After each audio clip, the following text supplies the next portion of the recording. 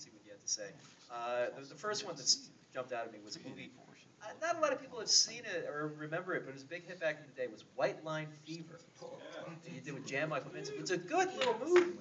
It, it is a good little movie. is, yeah. I, I think uh, it had Kay Lenz, which she was a big star at the time.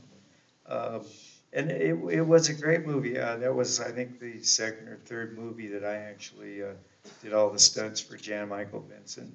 And uh, we had a lot of fun on it. There was some great truck stuff in it, um, a lot of uh, uh, chase things. It was, it was good. Yeah, I, I remember particularly there was a there's the, a, a giant at the end of the movie. The the ju- the, the truck makes this giant leap through a, uh, big fiberglass structure, and it's A big sign, yeah, Yeah. for the, uh, the bad company sign, yeah. uh, another one was